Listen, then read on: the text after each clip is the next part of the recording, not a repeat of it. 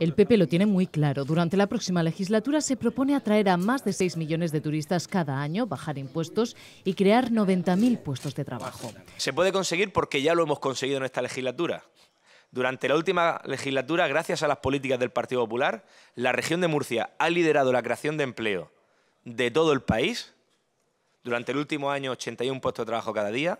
La bajada de impuestos también está entre sus prioridades y la creación de empleo con medidas como destinar hasta 6.000 euros de ayuda para convertir contratos precarios en indefinidos, extender la tarifa plana a los autónomos hasta los tres años, subvencionar con 10.000 euros la contratación de mujeres que han sido madres recientemente y guarderías y libros de texto gratuitos. En cuanto a la educación, defiende el derecho de los padres a decidir.